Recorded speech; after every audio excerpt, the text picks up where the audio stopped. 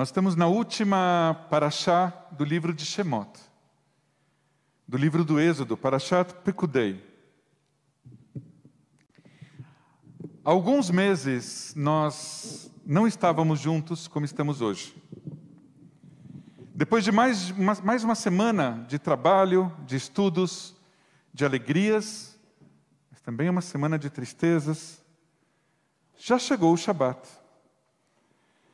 Vir hoje à sinagoga, como nós podemos ver, não é um ato trivial. É preciso um movimento, é preciso atitude contra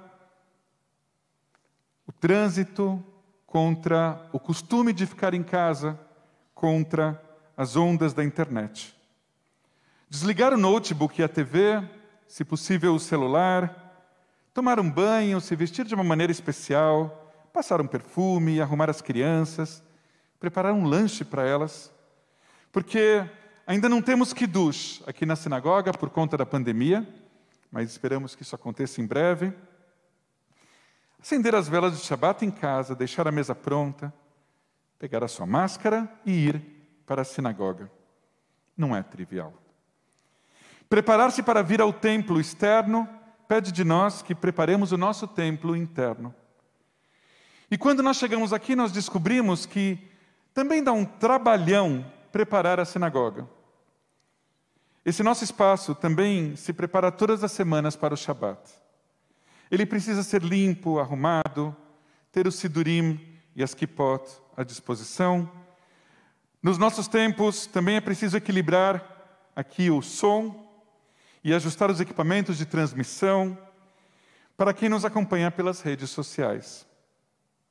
A equipe litúrgica e o rabino chegam bem antes e se concentram diante do divino, cientes do seu papel, que é acima de tudo, servir a congregação. Levar alegria, levar consolo, levar acolhimento, levar senso de pertencimento. Cada semana revela suas necessidades. Necessidade de abraçar, necessidade de pedir paz no mundo, necessidade de pedir por saúde para quem está enfermo, de consolar e de dar suporte para quem está enlutado. Muito antes das redes sociais, o lugar que, como judeus, sempre tivemos para compartilhar e conhecer as necessidades uns dos outros e umas das outras, sempre foi esse espaço sagrado, comunitário.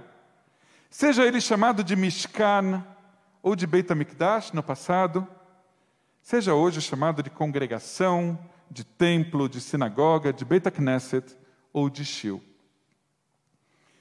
Nós partimos hoje do nosso templo mais antigo, o Mishkan, no livro do Êxodo, que terminamos de ler essa semana, deixamos a opressão no Egito e trilhamos um longo caminho com altos e baixos, da entrega da Torá no Sinai até a adoração ao mítico e bizarro bezerro de ouro.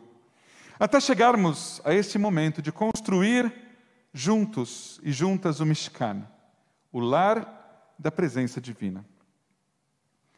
Esta Betel, esta casa da fonte de vida, foi projetada e construída pelos melhores artesãos e artesãs, com os materiais mais nobres. No lugar mais sagrado ficavam as tábuas da aliança, guardadas na arca sagrada e separadas do resto da casa por uma paróquia, por uma cortina que está aqui atrás, nós reproduzimos no nosso Arona Kodesh, atrás das portas do Arona.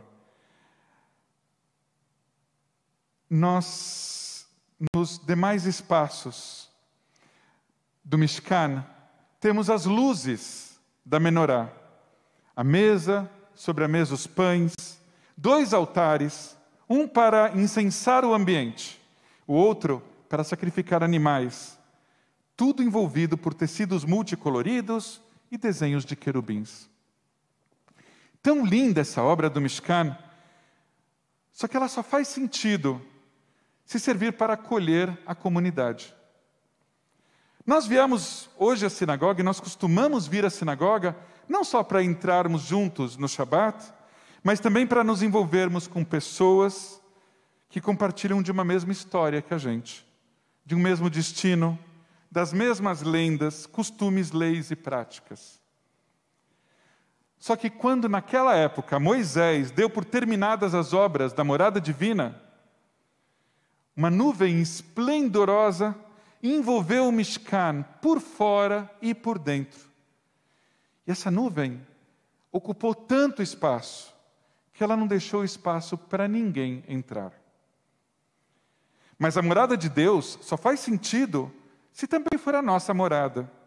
Nós rezamos toda manhã, Kadosh, Kadosh, Kadosh, Adonai Tzvaot, Melochol Haaretz Kivodó, sagrado, sagrado, sagrado é o Senhor dos seres celestiais.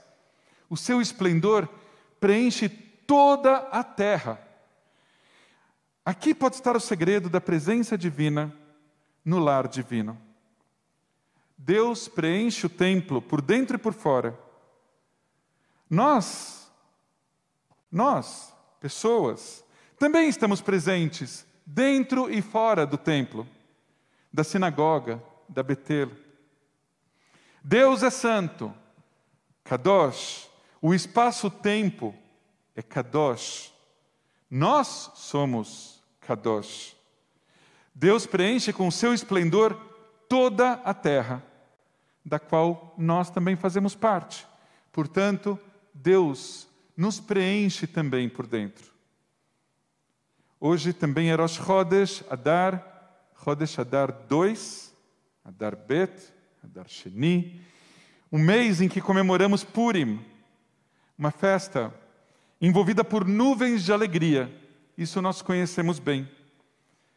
Mas o que a gente às vezes não presta atenção é que Purim carrega dentro de si uma grande angústia a angústia do extermínio, a angústia da morte. Que possamos entrar nesse novo mês, então, com coragem. Que saibamos que não estamos sozinhos, mesmo nos momentos mais difíceis. Que possamos dar e receber carinho uns dos outros e percebermos o valor de pertencer a esta comunidade, a Betel, a esse tempo e espaço sagrado. Deus está em toda a terra. Deus também está dentro de nós e nós estamos dentro de Deus. Shabbat Shalom.